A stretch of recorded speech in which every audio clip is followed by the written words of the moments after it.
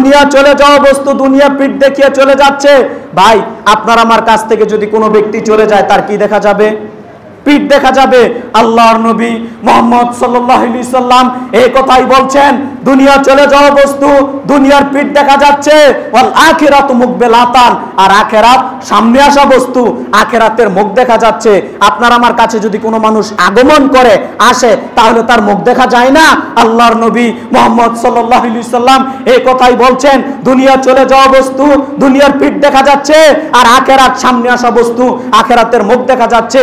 পৃথিবীর মানুষ, তোমরা দুনিয়াকে প্রাধান্য দিও না, পরকালকে প্রাধান্য দিয়ে চলো। তোমরা দুনিয়ার সন্তান হয়েও না, তোমরা পরকালের সন্তান হও। তোমরা দুনিয়ার সন্তান হয়েও না, তোমরা পরকালের সন্তান হও। তাই তো রাসূল সাল্লাম ইবনে উমর রাদিয়াল্লাহু তাআলার কাঁধে একবার হাত রেখে একটা বাক্য বললেন।